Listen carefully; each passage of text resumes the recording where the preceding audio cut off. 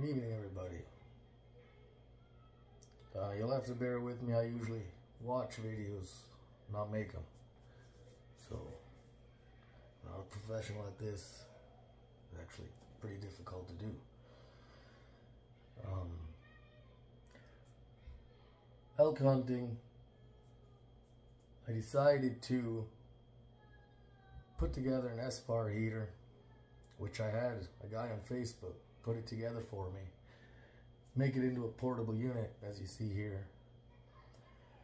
For elk hunting, try to eliminate all the work with uh, making fire or chopping wood, uh, burning wood, feeding a stove all night. Kind of drags you down hunting elk. There's a lot of work to begin with. And uh, so we put this heater together and I promised the guy I will make a video on how that went. Power source is two 100 amp hour lithium batteries. And I used I took along a Noco Pro 50 for charging. Should I run out of battery power with a Honda 2000i and uh, takes about three hours to charge a dead battery 100 amp hour dead battery with this Noco Pro 50 so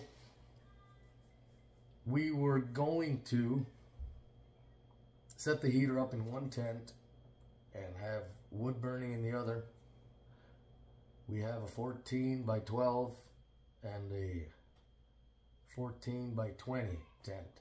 It's a lot of square footage. Checking the weather on the way up there, we kind of decided we're to run the heater into both tents. Use an ABS pipe for ducking, uh, 3 inch. We just set the heater up outside, exhaust purposes, vented about four feet off the ground so wind carries the exhaust well or the breeze and we just ducked it inside on a Y into both tents simple as that as I said with the warmer weather we were expecting we did set it up in both tents lowest we ever saw was probably mid to upper 40s and uh, that's on the warm side. It was wet. We had quite a bit of rain in there.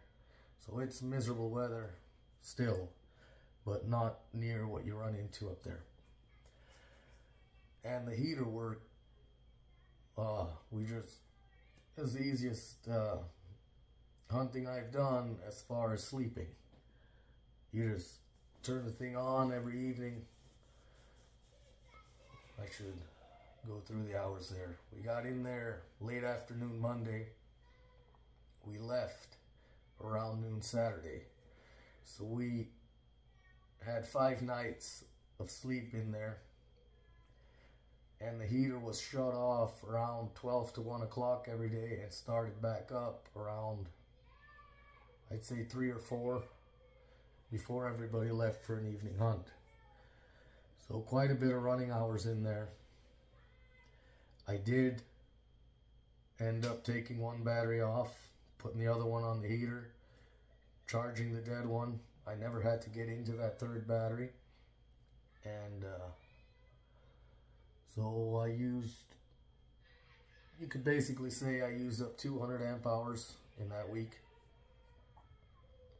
The heater will pull about half an amp on the lower setting, around three quarter amp on the high.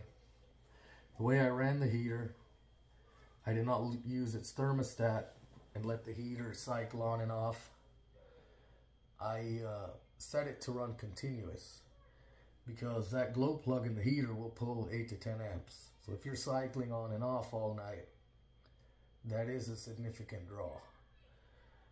So as I said, just letting the heater run continuous on anywhere from half an amp to three quarter in my mind, that was the way I was going to get the most out of my batteries, which I did not not have a problem with at all. I could have made it through with the two.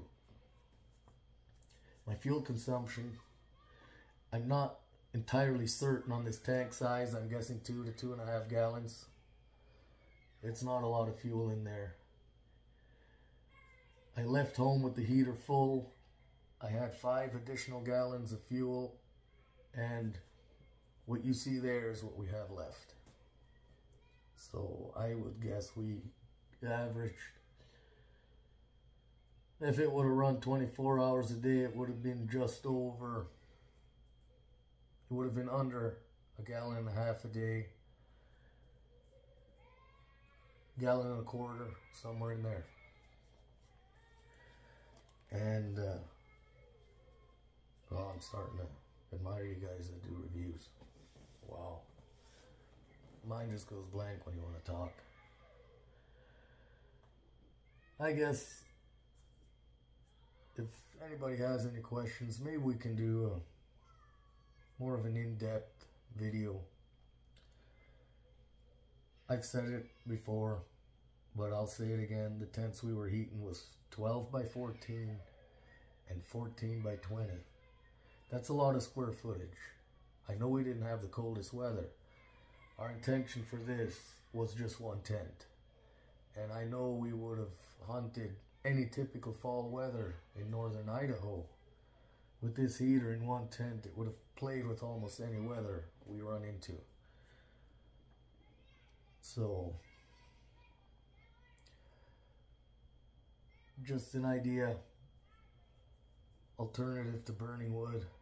Even if you burn wood, having this run on running slowly in the background would eliminate getting up every morning feeding a stove that goes about two two and a half hours a night. I'm sure there's better ones out there but the ones we have suck. So cheers